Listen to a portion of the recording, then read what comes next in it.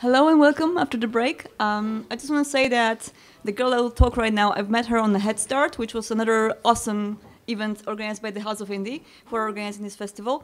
And I was freaking amazed by the fact that she's so young and she's making a game every month and she's actually doing it. She's proving that it's possible. So please give a warm wel welcome to Vaida Plankyte.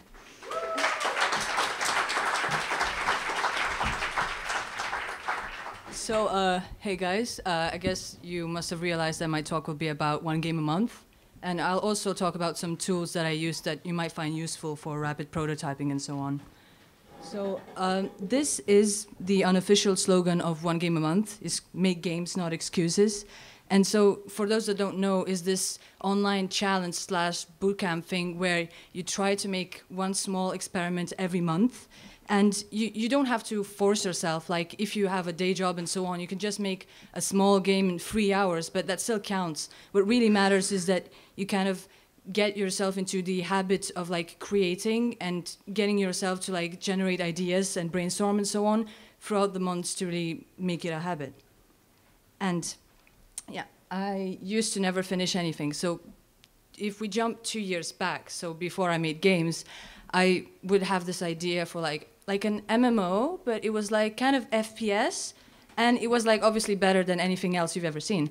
But like I didn't have no skill, and uh, I I'm not a coder or any, anything, so I didn't know how to make it. And I would just get an idea and then work on it for a few weeks, get disappointed, and just you know give up, obviously. But then something happened. Th this this this was my first game. It was actually before I started one game a month uh, there was the Flappy Jam, and this was a jam, um, you know, related to Flappy Bird.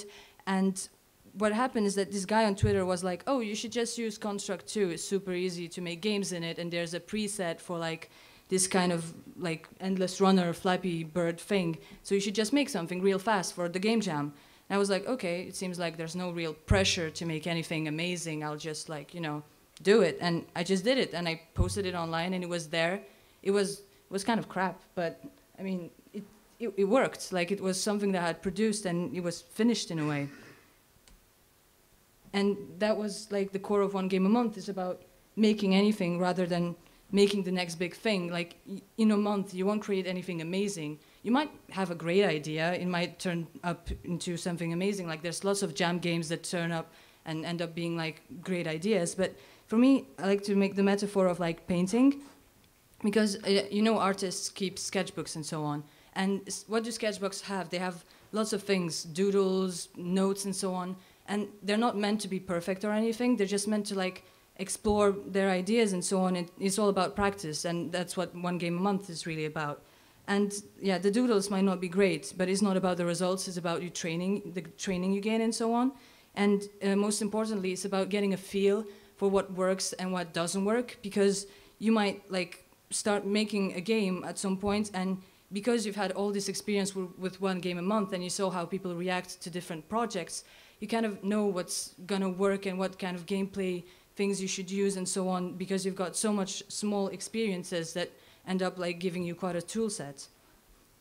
And again, this relates to Inktober. For those that don't know, it's like in October, you try to doodle for every day during the 31 days of uh, October, and it's supposed to just be practice in the same way that one game a month is.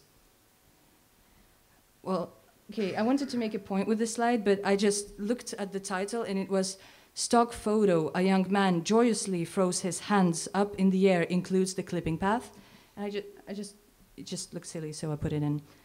Um, and well, these are like some examples of the games I made just to show you that like you can really explore anything. The first one is um, a game with no visuals in which you are a robot visiting a close friend. Uh, the second one, Horizon, is a game where you explore my room and with the different objects within it through audio cues. And the last one is a game about a sushi place that sells gender roles. roles. Yeah, as you can see, the quality of the games varies throughout the months, but like it, it was still great fun to do like random MS Paint art, just as it was like exploring Unity and so on. So of course, I could tell you about like a top 10 list of the things I learned, but really you learn the best when you like you do it yourself. So uh, what I'll do next is just walk you through a few tools and stuff you can use to make games not only for like people who want tools of rapid prototyping, but also people who are not coders at all. So on the left, we have Construct 2. Um, I really like Construct 2, and I'm really annoyed at GameMaker, not because it's bad, but because people always advise others to use GameMaker. But Construct is just as good, and I, I find it even more visual and easy to use. You have these behaviors, so you can have like a, a platform behavior, a solid behavior that you add to objects, and it just works. And uh, you can also expand it with a JavaScript SDK, so it also has some like programming things if you're into that. And on the right, we have Twine. It's for text-based games. It's also like in 30 minutes you can like learn most of it, and it, you use notes to, to connect things and so on. And it's it's really nice to use, and it can also be used, for example, if you're writing a more na narrative-based game to like prototype the story. I think some people do that. And audio-wise, on the left you have BFXR. Oh yeah, by the way, all all four of these are like free, so that's cool. And on the left, you have BFXR. It's used for sound effects. There's lots of variety. As you can see, lots of knobs and presets and stuff. On the right is Bosca Ceoil, which was made by the guy who made Super Hexagon. It's also super easy to use. You can make chiptune music with it really easily. Then you have this, indiegamejams.com. Uh, as you can see, there's like 15 things going on at the same time. So if you feel like you want to start one game a month, but you don't have a theme, like you don't really know what you're doing, or you want like to have 48 hours to do something rather than the full month, instead of having to mull over it, you can just go on indiegamejams.com. There's like online jams going on all the time, and you can find themes that you're into. Like there's man versus weather, sugar, sugar sweets jam, and so on, like doom jam, like really a huge variety of things itch.io, which is amazing. I just love itch.io. It's basically a platform which you can use to put your games on completely for free. It supports Unity games, Twine games, anything downloads. Uh, people even use it for comics and so on. And you just throw it on there, and as you can see, you have like a pug there, and it's a game called Hot Dates where you actually date pugs. So you, you have like really random games there, and you can really find a community there and you can talk with people and so on. They've recently launched their forum. And one last thing before I go, I wanted to show you a screenshot of the landing page for my blog. So that's that. Follow that advice, please. Thank you.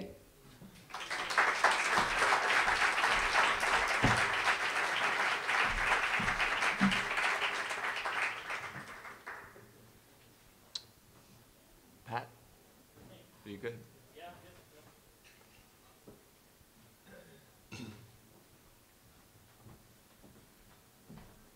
Do you have What? slides or anything? No, no. I didn't, talk? I didn't know there was. What do you want? What do you want in the background? Something nice. You got a nice picture. It's pretty well, nice. yeah, let's have that. You got some water. My unique presentation style to talking as well. Glass? I'll just store the water. Hello. I'm gonna, I'm, I was going to take it off. Woo. I'm trying, but it's- there we go. Hello. So you might recognise me from introducing the uh, talks over the past couple of days. Uh, my name's Pat. I'm a producer and a curator, and I'm a bit too tall to stand there, so I might move. Uh, hang on, let me get my notes up. So I'm here to talk really quickly about zines. Here's some props. Didn't get a presentation, but I got props. I'm going to stop standing in front of stuff that makes it go woo. So, like, this isn't just an advert for these zines, but I do have these zines for sale. Why not come and buy one after the talk? So yeah, uh, like I've made some zines. Some of those are my housemates, uh, but I have a large-ish, not that huge, collection of zines related to games.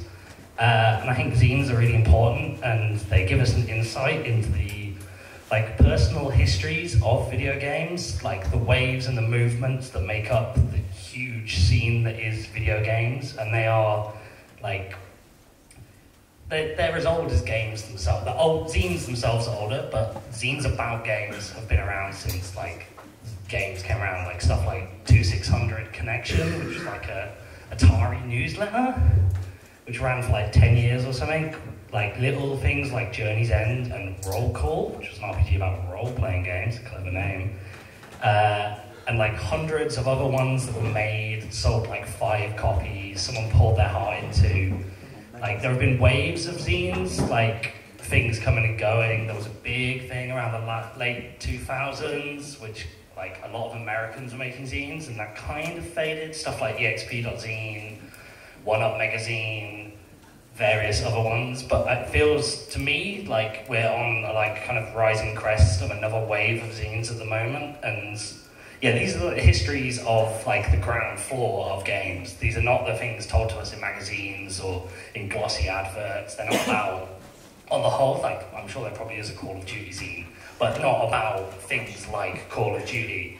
And like re- they're really amazing historically. Like I recently got a copy of the One Up magazine issue three from like 2005, and it's it's really interesting because you can see in it the kind of beginnings of the formation of what kind of became the indie boom of 2008, and it's talking about moving away from that kind of weird stagnated E3 vibe that was really big in those years and still is, but hey. Uh, but yeah, not only are zines themselves important in documenting experimental work and talking about work that isn't getting talked about, but themselves are like experimental for the creators. So you have like writers trying out stuff in zines they want for like their commercial work, or you have stuff like uh, there was a magazine in the 80s in the UK uh, about the ZX Spectrum, which was called 16 slash 48, which was released on tape. And you just bought a tape and it had all like columns on it and stuff. And you had like stuff like the disc mags the demo scene was making. And like, for an example, it's really rambling, sorry. It's clearly inspired by David's talk earlier.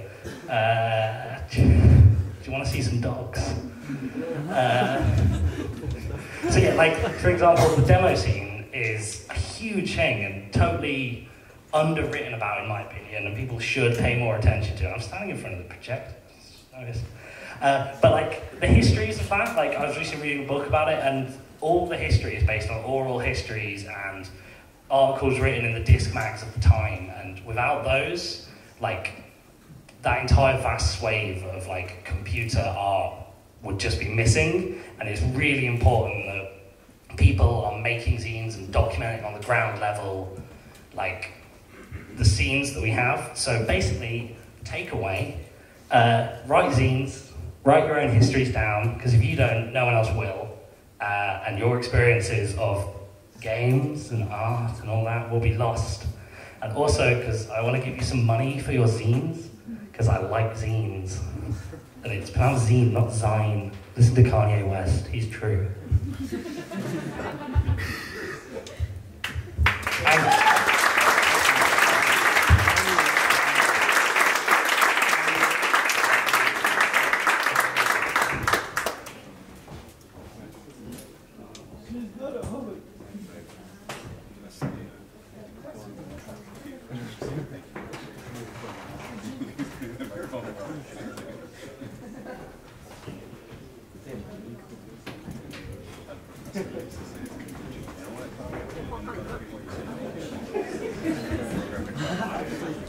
Hello, hello. Can everyone hear me? Yes, probably. Uh, hi, my name is uh, and I am one half of Yellow Monkey, which is a game development studio based in India. And um, as every Indian person, not just game developer, we all have dreams, and they are the American dream. We all want to move to the US and uh, have a suburban house and um, a job. And so when I was uh, young, I also wanted to do that, and um, uh, I studied computer engineering as most of Indians do, and decided that I wanted to pursue a game development course at uh, uh, in the US at CMU. Actually, we have one of the professors from there here in the crowd now. uh, but I wanted to study there, and it was insanely expensive. It costs about uh, that much rupees, which is about five dollars. But no, uh, it's uh, it's still pretty expensive. Um, and there was uh, what that meant if is I took this money and put it in the bank at ten percent annual interest, I would get that much money every month, uh, every year, and I could live off it for the rest of my life. So I was like, okay, I really don't think I'm going to spend that much money on studying computer games. And I decided to uh, work for studios in India as a game designer. I did that for a few years till I realized that nobody was making games of their own. It was all Bollywood cricket games or poker games, like Indian poker games, and it was really boring for me, and I got super frustrated.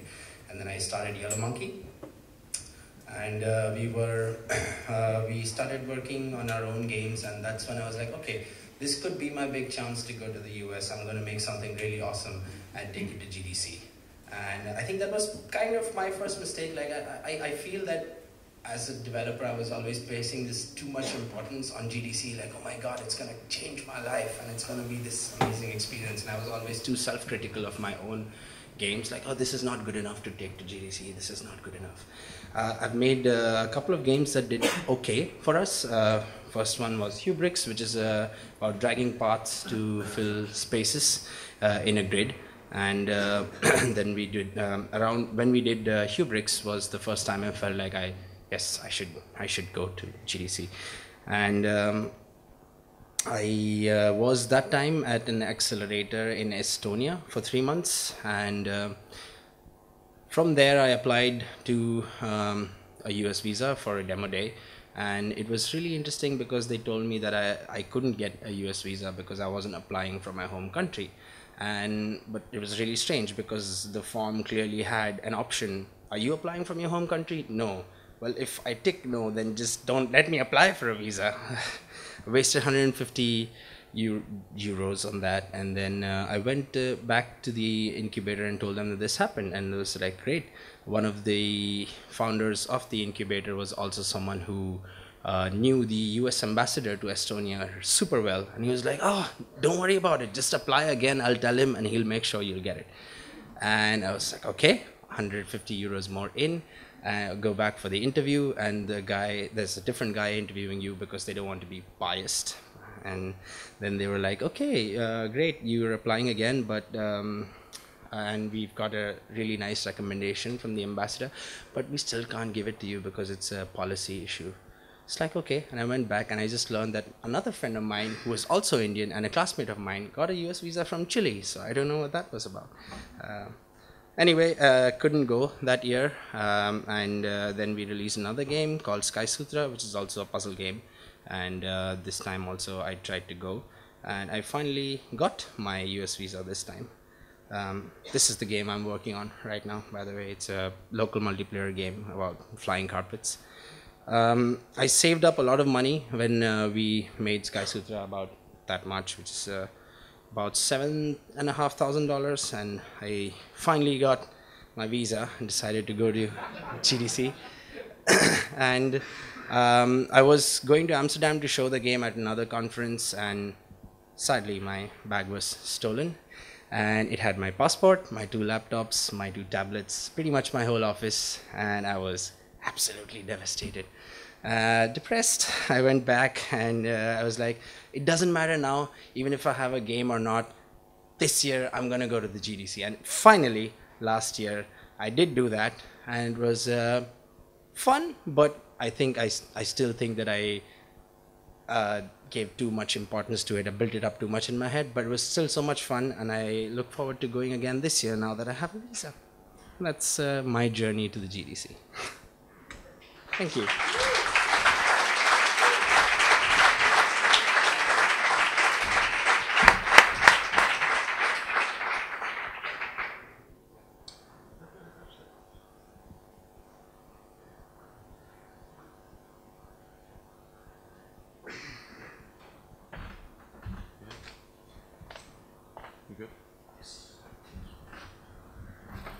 All right, so uh, 45 minute talk condensed into six, so papers.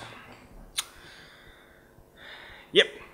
Hi, my name is Shalev. I'm a games curator and game designer from Tel Aviv.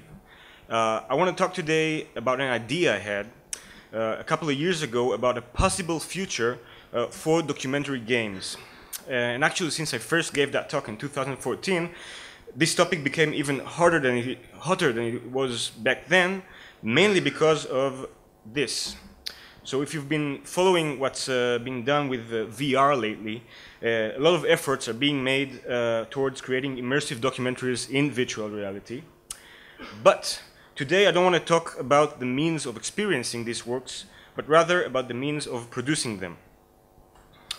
So you can roughly divide uh, the building blocks of documentary or a, a, journalistic report into two groups. The one is uh, testimony. So uh, testimonies are reports by people who tell you what they witnessed or what they understand that happened, right? And the other group is documents. So documents are recorded materials uh, like photos, sounds, uh, video recordings that are captured mechanically straight from the scene being reported. Now, uh, documentaries in broadcast media, like uh, film, television, uh, papers, radio, rely heavily on documents that are native to them, uh, right? So they have, like I said, uh, sound recordings, video recordings, photos. Even when the, those kind of media are using uh, a lot of testimonies, especially like in radio and newspapers, reports are frequently grounded with documents. Now, documentaries in interactive media today are based on testimonies, usually. When you're uh, trying to, uh, to, talk about reality, uh, games usually reenact events acting as testimony. So, in uh, a game like 11-bit uh, Studios' This War of Mine, uh, players engage with the system heavily inspired by testimonies from the Bosnian War. Or in Lucas Pope's Papers, Please, which is uh, not documentary, but a game that kind of talks with reality. The players engage with a system made to imitate the author's experience moving between countries and borders and alludes to the realities of life behind the Iron Curtain, but none of it is really referential. Not that there's anything wrong with that. The photo you see here is uh, uh, a page from The Spectator. Uh, the Spectator was uh, what uh, 400 years ago, one of the first examples of modern journalism, uh, it was what you call literary journalism. So writers wrote in the voice of fictional characters, and they were telling stories that were more like a caricature, but were used to report real events. So uh, when game creators today are trying to use traditional documents in documentary-ish works, um, so uh, sorry, when, when game creators today are trying uh, uh, to do documentary-ish works, they're using traditional documents that are from the broadcast media side, like photos and videos. So in uh, That Dragon Cancer, for example, uh, the author incorporates recordings, real recordings of his son, which is the subject of the game, of his son's voice in the game that is uh, otherwise fictional. Or uh, in a, a famous interactive documentary like Prison Valley, users navigate a system uh, that contains videos uh, of the place being documented. But these materials, videos, uh, sound recordings, photos, uh, are native to traditional broadcast media, to linear media, not to interactive media. So that is why I want to talk right now about uh, three evolving forms of data technology. They, they, exist, they are evolving right now, that may very soon become principal tools uh, in the creation of documentary games. This is probably my most techno-optimistic talk.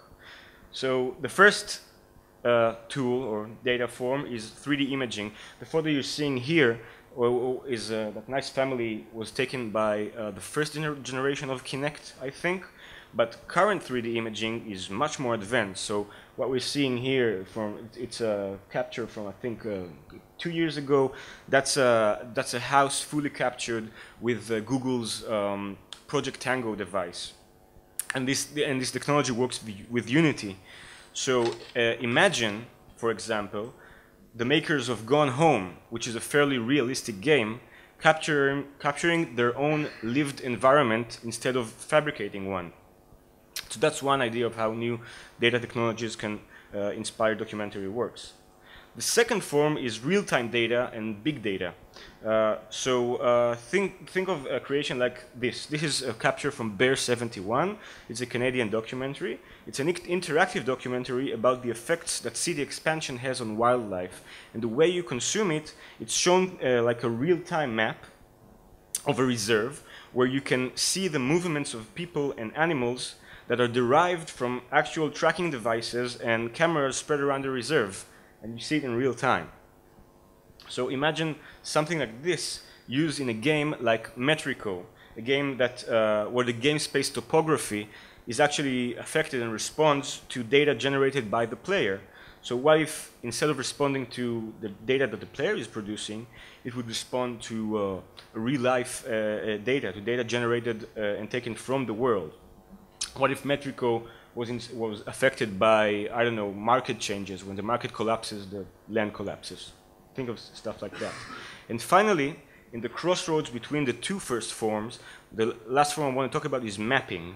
So uh, we're getting really, really good at mapping the world with really, really high detail. This is uh, a photo from a project called Reroll. Uh, it's an action RPG game set in real world environments. What the creators did when they pitched the game, sorry, uh, they used drones to 3D scan large areas in the world and turn them into game levels. So this mountain is a real mountain captured in 3D. But uh, there's actually a large-scale documentary uh, mapping project that, that exists for years. For what is Google Street View, if not a huge documentary walking simulator? Now, uh, the reason I'm excited for this uh, is that there's a huge potential here to tell stories that were never told before by documentarists. Uh, as we all know, broadcast media and old media is uh, linear, and so it's really good for telling histories, a series of events. But documentary games can depict systems. They can report situations as they are, and that might have a profound impact on, on how audiences perceive the world and the kind of knowledge they learn from documentary works. Thank you very much.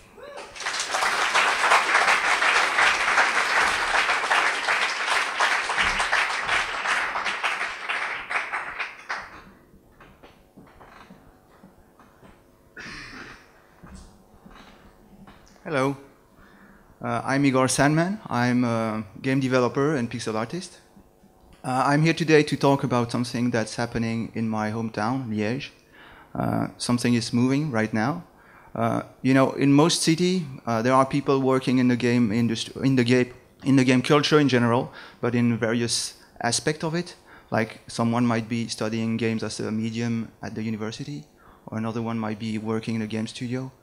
Uh, but we all disconnected often. And uh, recently, one of us in Liège decided that we should try to do something together. So uh, we are we are building a collective very soon that is going to focus on bringing us together and try to do things together.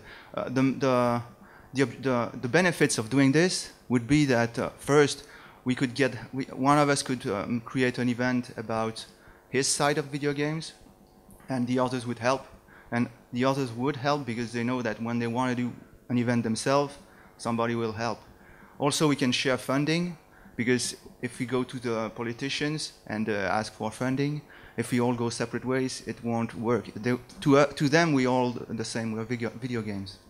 So uh, we also can bring together, bring everyone together to create an event that is uh, showing uh, different sides of the video games into one single event. So uh, next month, in March, we are going to create uh, Les Interactifs Associés, which means uh, in, uh, interactive associates. Uh, so uh, the, the main goal, so among us, we have many different people working in different areas. We have people working at the university. they are, actually in the University of Liège, we have very, since very recently, we have cursus that is uh, happening once a week, and that is free. And uh, we are incorporating that cursus into the, the, the collective. And uh, also we have, like you, some of you might know, we have a meetup group called L'Apéro, which is like like House of Indies uh, making he, here uh, uh, the Indie Game Salon or the Brotaru in Brussels. It's the same kind of thing. Uh, we are also incorporating, incorporating that into uh, the collective.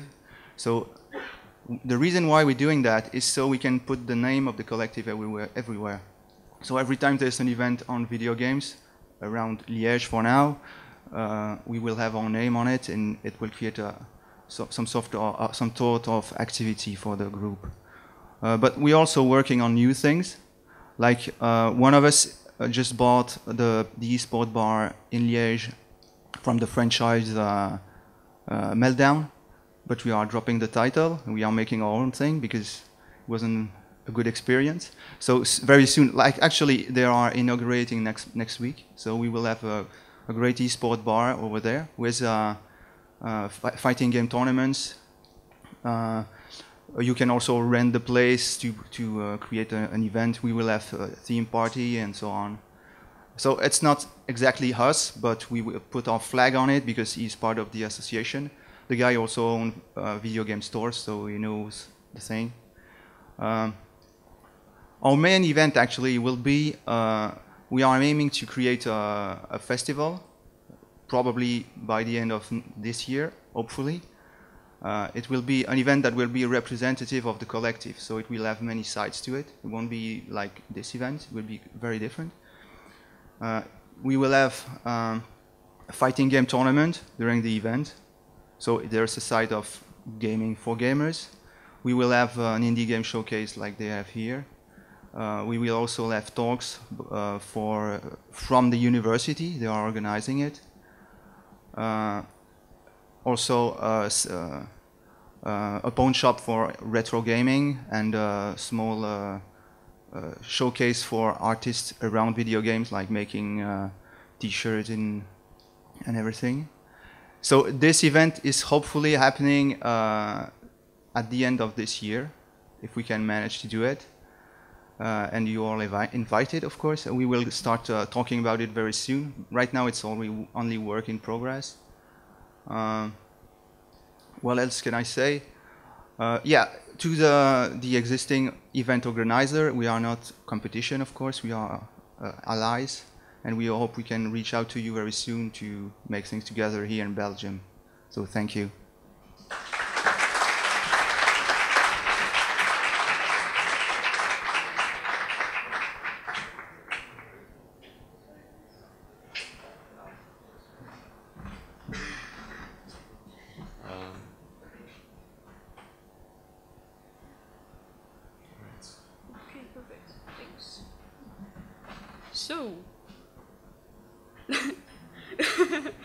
Um, so, hi, my name is Stéphane Hureau, but uh, since it's a French complicated name and that even French people can't seem to pronounce it right, you can call me Q, like my Twitter handle.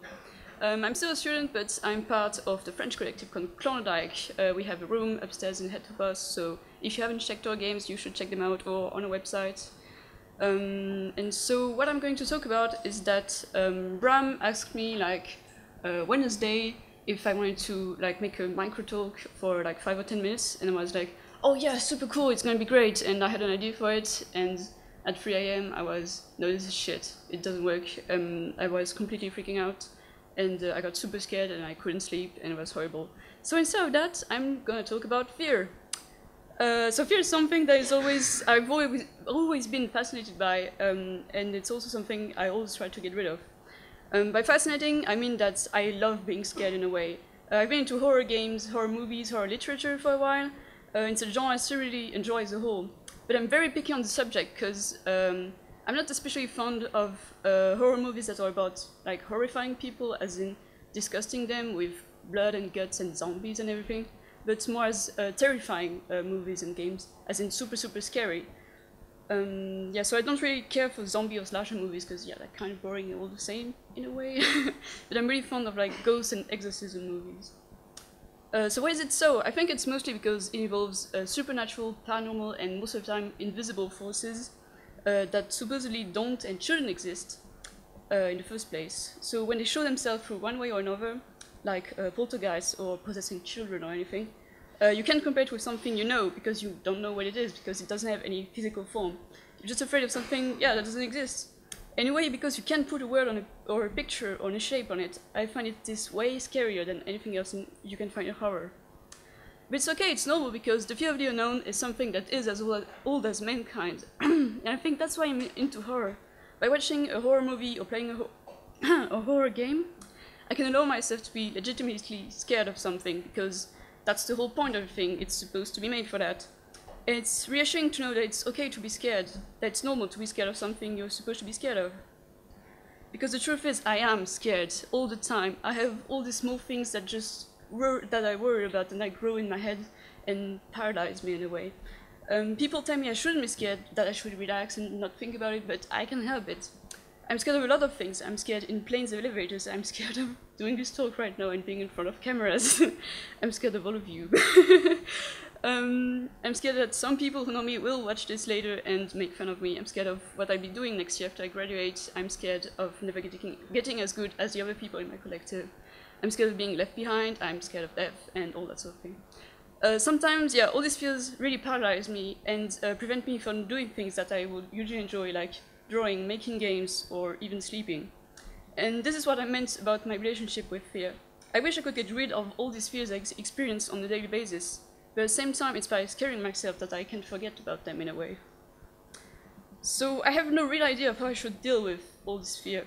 Should I embrace my fears and accept them as part of me, or try to fight them and um, yeah, become a better person.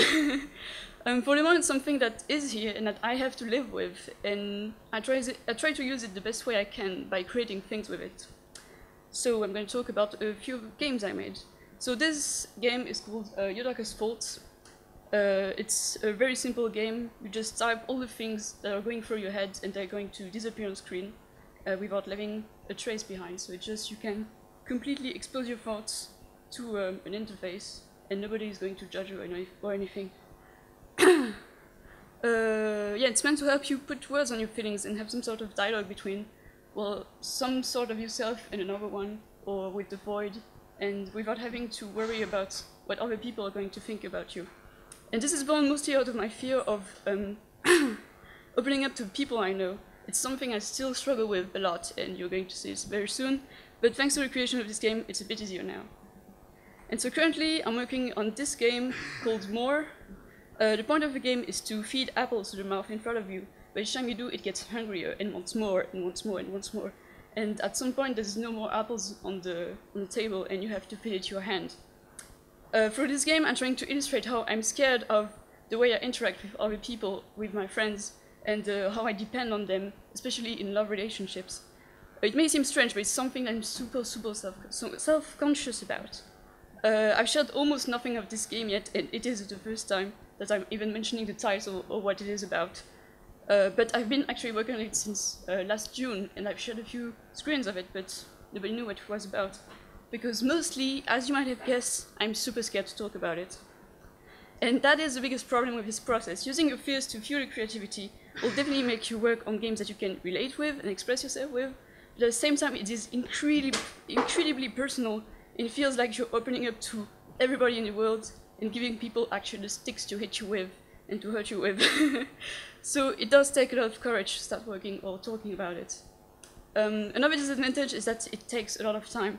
I spend as much time working on um, on the game as in worrying about what it's about because, yeah, you have to make design choices that are related to uh, the faults you have, and so it's kind of hard. So I'm not really making a lot of progress. But the biggest advantage is that it helps you put words and images over what you're feeling. This way it's easier to understand what it's all about, and thus less scarier, uh, like the opposite of a good horror movie. So in a way, by making these games, you could say I'm doing some sort of self-therapy, but I don't know yet if it's really gonna help me or it's just me getting more and more stuck in my feelings. Hopefully, it can also help people learn about how you feel or how friends with similar issues feel. And I think it's also part of why I'm making these games, so I can connect better with other people and find a way to open up to them.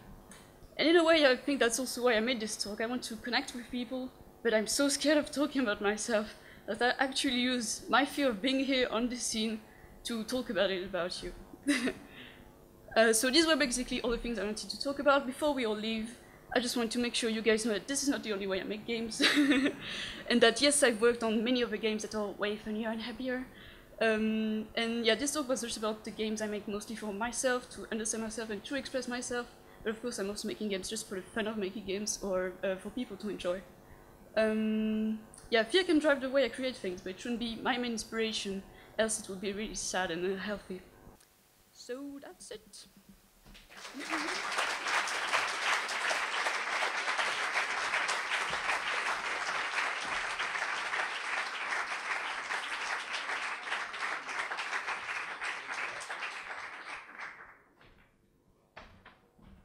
All right, uh, we have two more hyper talks. Um, but one is from somebody who couldn't be here because she is sick. But the next one um, is please bear with me a little bit of a technical uh, issue. Yeah, can I get power? Um, let me let me call him up.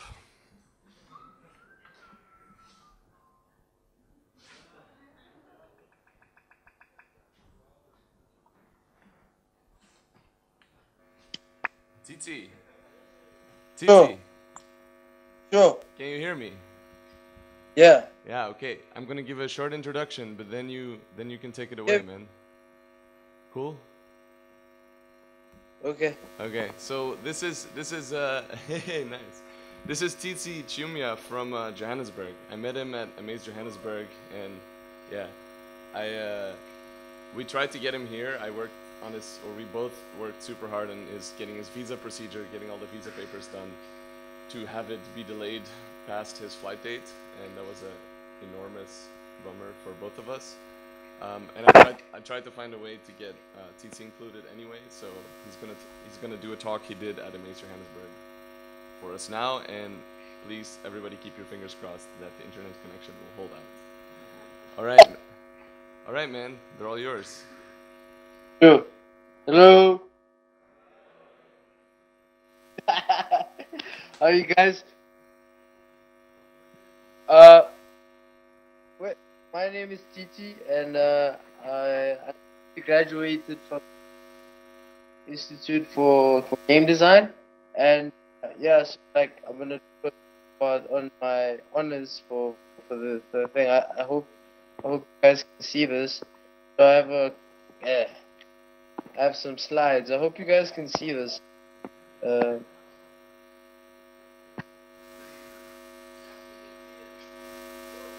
oh. Uh, so yeah, so my, my, my talk is about like the perceived roles of small games in in, in, in small South African small South African communities, right? So like uh, a bit about me. so I grew up in Limpopo, which is like a very rural township away from Johannesburg, and I moved to Johannesburg for, university and school and stuff. And then I became a game designer, uh, game design student and stuff, and then I down as immediately after all that stuff. So yeah. Yeah. The purpose of my research was like to find out what the roles of games was and what people thought of games like especially because I chose Warhol because I grew up in the Warhol and I wanted to find out what the people that lived there about games think what the games were like I want to take into consideration perspective I want to take the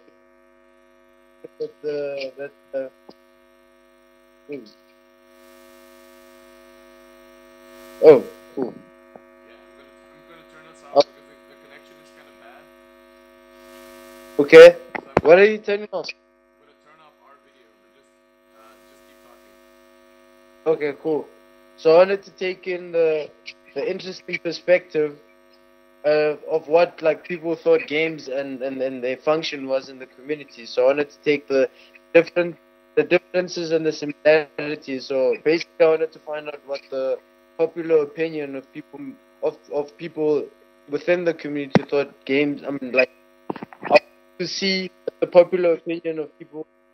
I mean, the popular people, uh, the popular opinion of what people thought about games the in the community. So, uh, like first, I needed to look at how how the people played and stuff. So, I realized like the most of the people in the in the small townships they play like in groups. So like they always play analog like analog type games in in groups and like they they they chat. This, yeah, yeah. So they want to they wanna they want people to like play in groups. So like they this picture here, like a group of guys playing an ancient game called Moruba.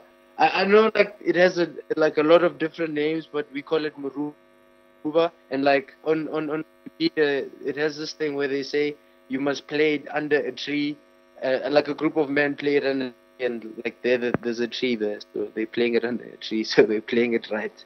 And then here is like a, a picture of like little girls and little boys playing a game called Chicago, and it's like a it's like a physical type game where you throw a ball and then you try to hit like tins in the middle and stuff like that. And it, it's it's cool to see how they still play because in Joburg you wouldn't find things like these because Joburg is more like modernized and stuff like. And there's like a video of a group of men playing playing the game. I just I just I wasn't ready for this, so I didn't. Uh, okay, I didn't think it. So like. Yes. Sideways. Oh. Like that. No, actually. Actually, actually, that's worse. Never mind. Like That.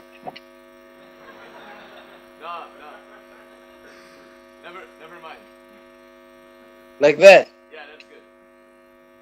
Sorry, man. No, it's Uh. Okay, cool. Uh. so, so yeah, I mean, like, I, I, I don't know why this video is not working, but yeah. So like, I needed to look like the details, like of, of like look at like some of the finer details, like so the that they play are rather inclusive and like, and that's how the people like they the games become a platform for groups. So they they want like a game like a lot of people together and stuff like that. So they it makes it necessary for people to meet. This is what the people were saying them. They say like games make it necessary for people to meet, and like I think that's something that people cherish. Like the people from the town, they, they they cherish that a lot. That people must be together and ensure that a community stays a community. That's what what one gentleman said. And not what what interesting is that it's not just the arcades. Um, it's just that's just analog games. It's like even the. You see, like this picture. It's like at the arcades. Like a lot of kids come there, and some of them don't even have money. I spoke to a, a kid and I asked him like, why does he come to the arcade? And he, he doesn't even have money, but he knows like his parents like when he's around kids and the and just playing and stuff. And kids are like, no, they, the parents feel very comfortable for their kids to be around those kind of areas and stuff like that because they know like not a lot of bad stuff happens. Even even the shop owner was like he doesn't make a lot of money from it, but because of what like pivotal role that the thing hold the the, the arcade holds in the community, then he wa- he wants it like so like these are like some short stats about Lebogo. I'm gonna skip like it's a very young like it was uh, established in 1971. So meaning means that like everyone that lives there, especially the the elderly, they've been part of the history ever since it was created. So all the cultural aspects of that, it's like some people have seen it from the beginning, which is really, really, really interesting. So, uh, so like the kind that was built by these people. So that's why it's really interesting to get like their perspective, right? So then I asked about like individualized play in terms of playing on their phone and playstations and by themselves and stuff like that. And the people say they have like the, the younger guys have like a love hate relationship with it because they know that it's fun and that, but they know that like the elderly will not appreciate it. So they are very like they love it, but they know they should hate it, but they still love it, you know. And the elderly know that it's kind of educational like that, but and but like they they they, they don't like it because of what it represents. It represents like the opposite culture but to do. So uh, what I've learned from the studies, like games ne- make it necessary for people to come together in townships, especially uh, what's this? It brings people together and teaches them important values about community. Like they to, like they go into so much detail that I wish I could go into, but the scale uh, doesn't allow me to go into that. Then like games, um, uh, what's this? Uh, actors. This was interesting. The actors type of, as a between environment between like formal education and uh, and like informal education. So like they know kids learn certain aspects of of, of, of, like formalized education, play games, but don't want it to be implemented into like uh, schools and stuff like it because they think that it's a leisure time learning activity. I, I don't know if that makes sense, but yeah. Um, and yeah, that's my talk. Thank you so much.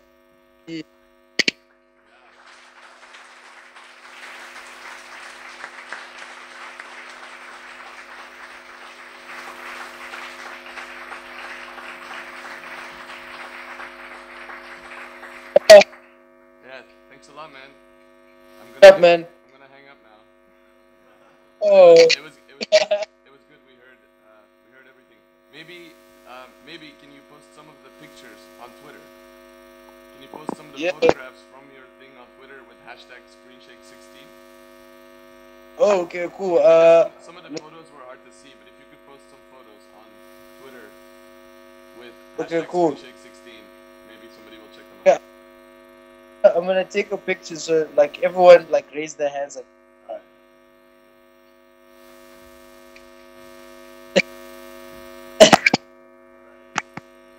Yeah.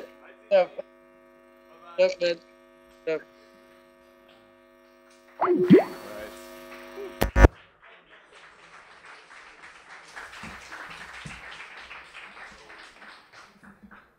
He, he actually was trying to send me a video he recorded, but he, the internet connection where he was was too bad. That's why I was stressing so much for the last hour. But I'm glad it worked out. Um, we have one more hyper talk. Uh,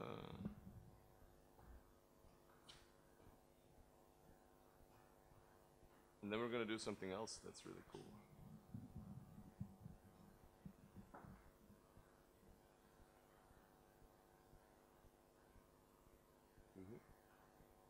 Hey, Sherida. Okay. Hmm.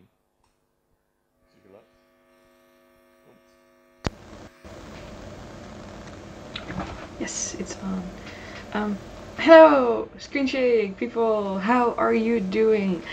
Um, my name is Sherida, and instead of being with you in front of you, talking to you, um, I'm recording this micro talk here from my home because I'm sick. Um, it's quite awkward. My neighbor is next door, kind of watching um, me through the window. But um, I'm not gonna waste any more time. I'm gonna get started. So my talk is called Lessons That Star Wars, The Old Republic, or any MMO for that matter, may perhaps, uh, could possibly be teaching me, I think, um, about, about being healthy. Um, which is kind of stupid because I'm, I'm at home being sick. But um, bear with me. Um, originally I wanted to give a talk about more about creativity, but I thought this might be a little bit more important because a lot of people that I know um, that make games or, or do any kind of creative work, um, we struggle kind of making a balance between uh, life um, and pleasure and, and the way that we approach our work. Uh, so people um, are stressed out or very busy, and that's kind of like the optimal uh, settings. And then on the other hand, we people that completely burn out and struggle with their mental health. Um, luckily for me, I'm more of the being incredibly stressed out all the time kind of um, part of the of the spectrum.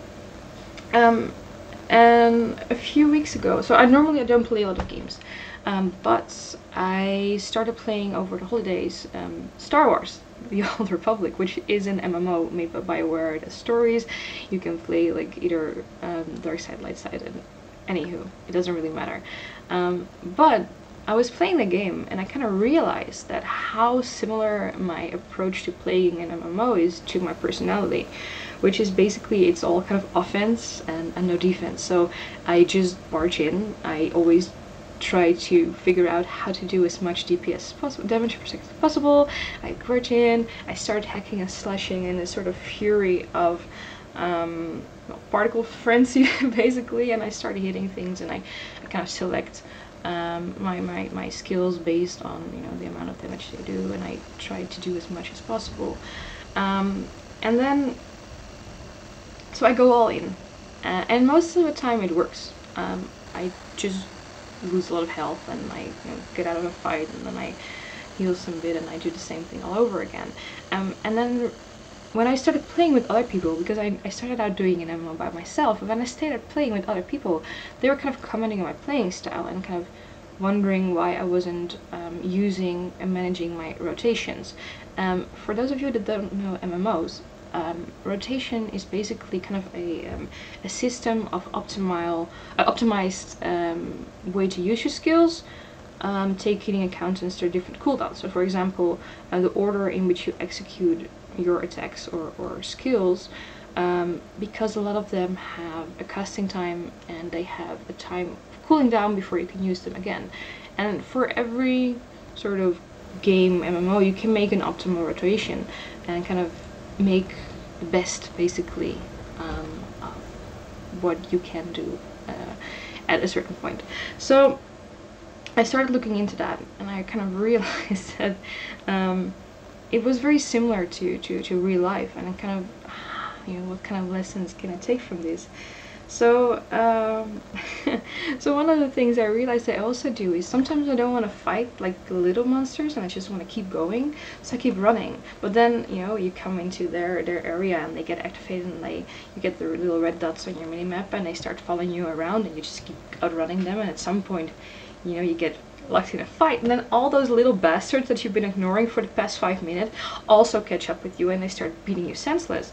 So at some point my avatar was laying down there um, being like defeated with a lot of low level monsters. And I kind of realized like ah this is actually very similar to, to what I do um, on a you know daily basis concerning my work and, and, and concerning my, my overall um, well a way of life basically. Um, so it was time for some optimization.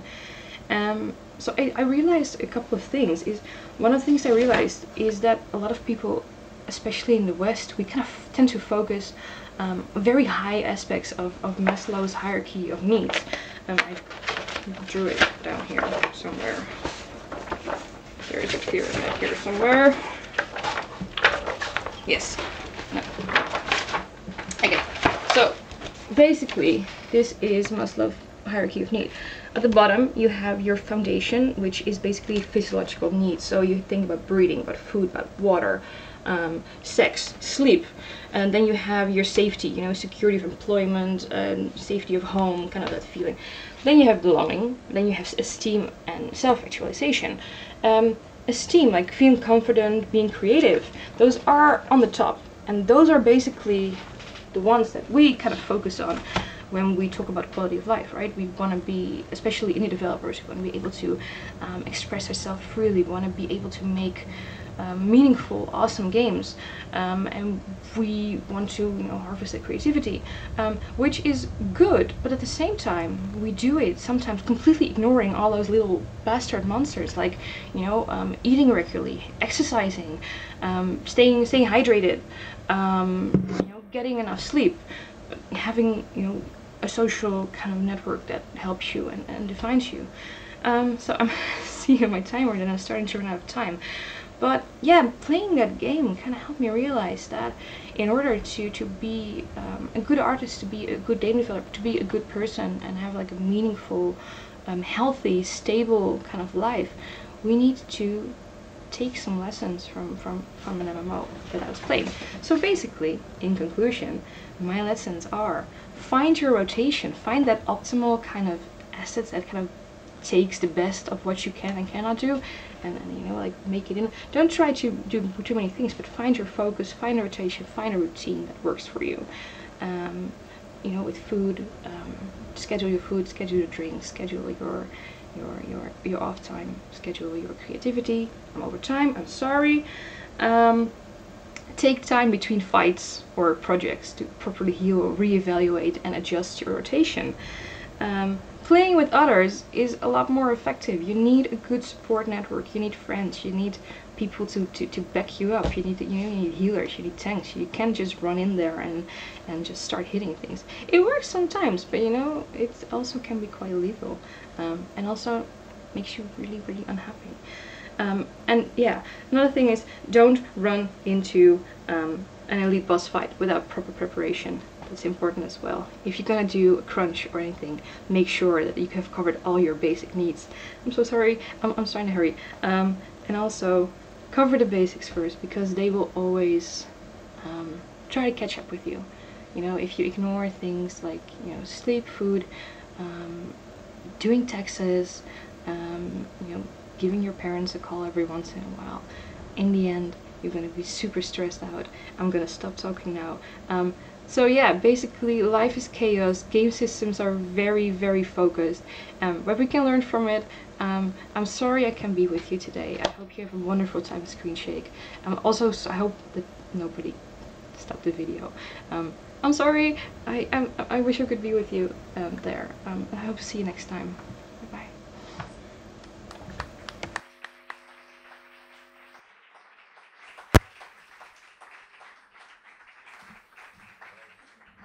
Thanks everyone. Those were the hyper talks. Um, as soon as we have it set up, we're gonna start playing uh, Journey and then.